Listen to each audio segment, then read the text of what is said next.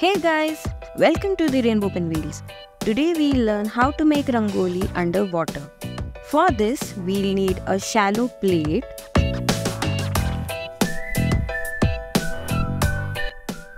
Now, let's pour some oil and spread it evenly on the plate. You can use whichever oil you like.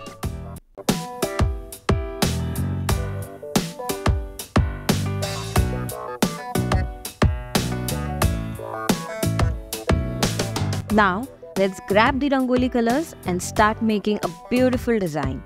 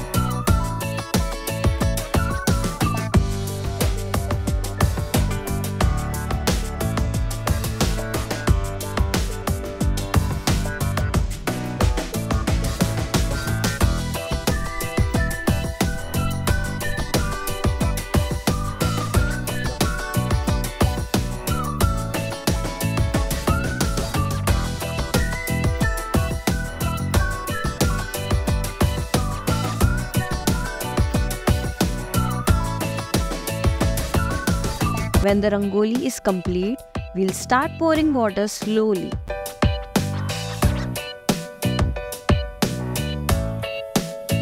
And our beautiful rangoli underwater is ready.